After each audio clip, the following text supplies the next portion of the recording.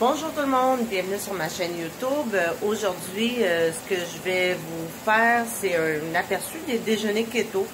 Euh, voilà, j'ai fait revenir mon bacon à la poêle. Maintenant, je suis en train de faire revenir dans le bras de bacon. J'en ai vidé un peu, c'est ça? Mais je suis en train de faire des asperges avec des champignons et des oignons à la poêle auquel j'ai ajouté deux œufs que je vais maintenant mélanger.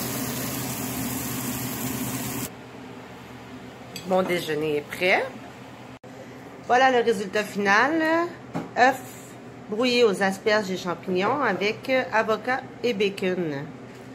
Pour euh, couper mon avocat comme ça, je l'ai coupé en deux. Ensuite, je l'ai vidé avec une cuillère à soupe.